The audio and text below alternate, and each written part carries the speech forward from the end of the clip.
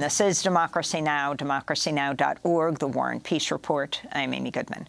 This week, NASA released the first images from its new flagship James Webb Space Telescope, the JWST, revealing an unprecedented view of the cosmos, from galaxies that formed just a few hundred million years after the Big Bang to the births of stars and vast nebulas of gas and dust. The telescope is named after James Webb, who led NASA during the 60s in the run-up to the Apollo moon Earlier this year, NASA Administrator Bill Nelson rejected a petition signed by over 1,200 astronomers and astrophysicists demanding a change to the telescope's name amidst new revelations about how Webb helped to purge NASA of LGBTQ plus workers as part of federal policy. We'll have more on that coming up. But first, we want to turn to the science coming from the JWST, which is already revolutionizing the fields of astronomy and cosmology.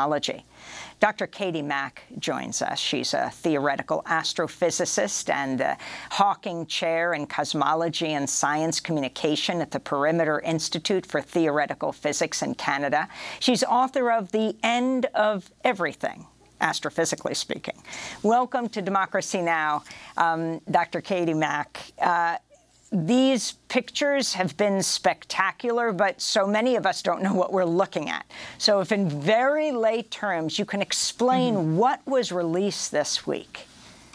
Sure, yeah. Um, so the pictures that were released this week are really some astonishing uh, versions of the range of things that this telescope is able to do. So it got a deep field looking deep into the cosmos, the, the farthest reaches of the cosmos, very, very distant galaxies. It got a picture of interacting galaxies, galaxies that are crashing into each other to show how the this telescope is able to tease out the details of the gas and dust that stars forming. And it gave us images of a couple of nebulae, um, one where stars are forming, uh, newborn stars are forming out of the gas and dust, and one where uh, uh, there's the the remains of a dying star are, are, sort of blowing up this bubble in space. And um, both of those are also spectacular pictures that we're going to learn a lot uh, from when trying to understand the process of stellar death and stellar birth. Can you explain how it is we have gotten these pictures, how the JWST is different from uh, the Hubble Space Telescope, its predecessor? Yeah, so it's a lot bigger for one thing. Um, the the mirror is a lot bigger. So whereas um, whereas the Hubble Space Telescope had a mirror of about two and a half meters in diameter, this one has a mirror of something like six and a half meters in diameter. So it's a much bigger mirror. So it, that means it collects more light, and it also sees in a different kind of light. So the Hubble Space Telescope uh, would give us pictures in visible light and some infrared light. And this telescope, JWST, is all infrared. So it it um, it shows us light that's a longer wavelength than we can see with our eyes, but that allows us to see farther into the universe, and it allows us to see features of astronomical objects that you really can't see with ordinary light. So it allows you to kind of look through uh, dust and gas uh, to see the light, the stars forming inside these dust clouds um, and it allows us to see some of the galaxies that are so far away that their light has taken billions of years to reach us. And that means that we can see galaxies that were forming in the very, very early universe. And that's also tremendously exciting. Um, Let's turn to the first full-color image returned by the telescope. And for a radio audience, you can go to our website, democracynow.org. Um, but I know uh, that Dr. Mack will be very descriptive uh, in explaining.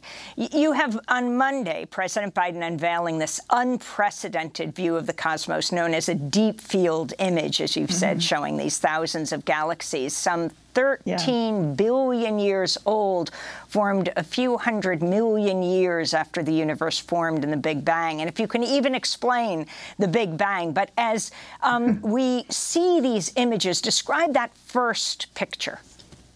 Yeah, so the first picture, it's it's a, an image of a cluster of galaxies. So that's uh, a bunch of galaxies that are gravitationally bound to each other. They're orbiting each other. So each of these galaxies is a collection of stars and gas and dust, you know, like our own Milky Way galaxy.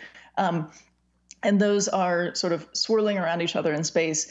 And then behind that cluster of galaxies, there's you can see sort of the background of the the distant galaxies far behind that. So there's the cluster of galaxies, and then then all around it are these little colored dots and smudges that are very very distant galaxies. So what's happening is because we're looking so far into the distance, we're looking back in time because light takes time to travel, and so the farther away we look, the farther back in time we're looking. And so we're looking at things that are so far away that they're almost at the time of the Big Bang. So the Big Bang was an event that happened in the early universe, the sort of start of the universe. We we have really good reason to believe that the beginning of the universe, the universe was hot and dense and kind of full of plasma and sort of glowing with heat. And then over time, it expanded and that plasma cooled, and then there was a lot of hydrogen gas. And then that gas came together and started to form stars and galaxies and so on. And we're able to see some of the first galaxies that formed by looking at an image like this at really deep field, looking far, far into the distance.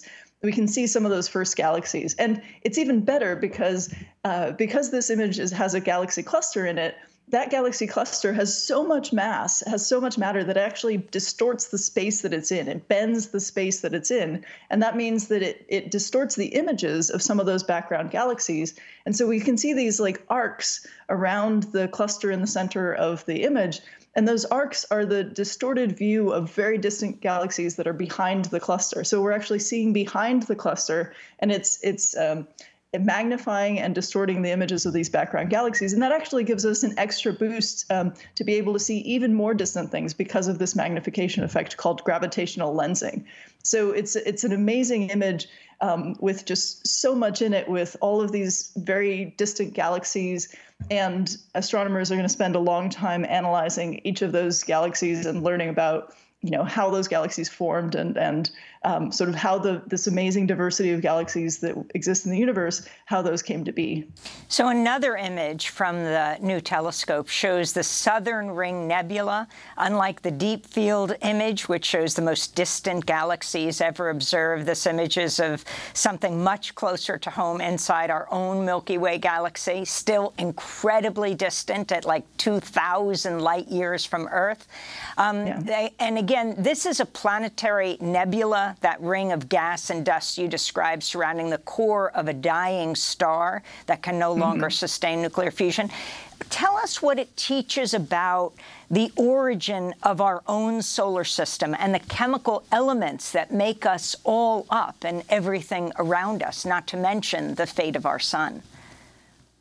Yeah, so this is an amazing image because it, it shows that kind of bubble that's produced when when a star is dying, uh, a star like our sun, when a star like our sun is dying, it, it sort of blows off layers of gas, it blows off its atmosphere in in these layers and, and kind of creates this bubble of gas and dust around it. And that's what we see in this image. Um, we actually see with this uh, telescope, we're able to see that it's it's a double star system. One of the stars is is dying, and the other one is is still kind of burning.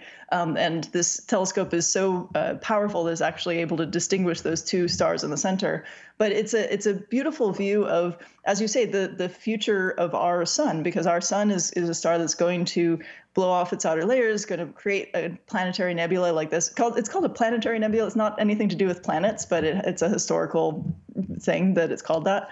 Um, and our sun, when it when it eventually dies, will sort of blow out these layers and uh, and sort of illuminate a, a, sort of pocket of of uh, the universe. And so the the nice thing about these images is because we have uh, the, this infrared information. We have many different uh, sort of frequencies of light we can look at. We can really examine uh, what that gas is made of and learn about what the atmosphere of the, the star was when it when it um, blew out all those layers, and learn about sort of how it's been um, moving around and and um, and what that process was like as it was dying. So it's it's a really um, a really rich image.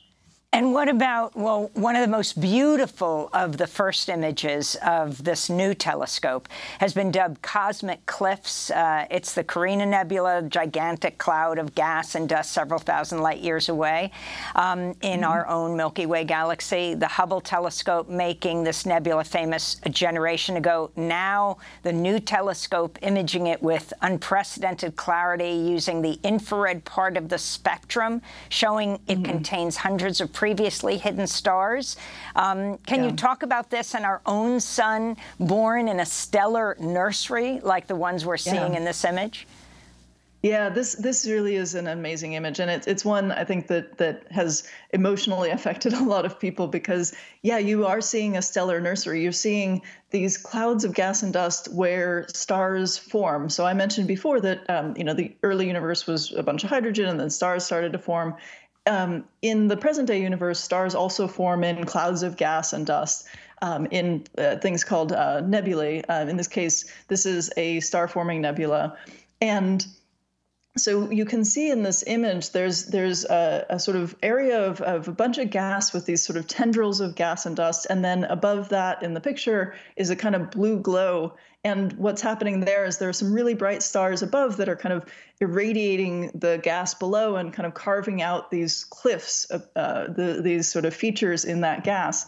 And the amazing thing about what we see with the, the JWST is that we can actually see through that gas and dust to and, and we can see the the baby stars being born. And so we can actually essentially watch the formation of stars because we have so many stars in this picture. It's such a, a large image with with so much in it. So so many individual stars being born so many little pockets of gas that we can kind of watch the progress of of stars uh, forming. Um, and that again it really does tell us something about you know how our star formed. Our star formed in a you know cloud of gas and dust in the same kind of way. It might not have looked exactly like this, but it was uh, a a the same kind of process where there was the cloud of gas and dust, and it came together, and gravity pulled it together, and then it, start, it sort of ignited.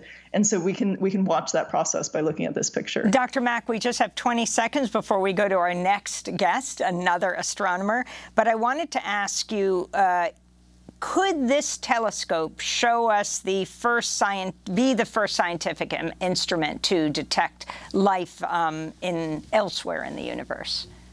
Well, that's a great question. Um, we're not sure, but one of the things that it can do, and a, another thing that I didn't get a chance to talk about, is it can take the spectra of exoplanet atmospheres, meaning it can look at the gas uh, in the atmospheres of planets around other stars, and there's a chance that it might uh, find signatures consistent with life in the atmospheres of other stars. So we have to stay tuned. It's not entirely clear uh, how well we'll be able to know what kind of gases life makes, um, but uh, we we can tell what the ga- the the atmospheres of other planets um, might have in them, and we we saw one example of an exoplanet atmosphere in this first release, so it's it's a very exciting prospect.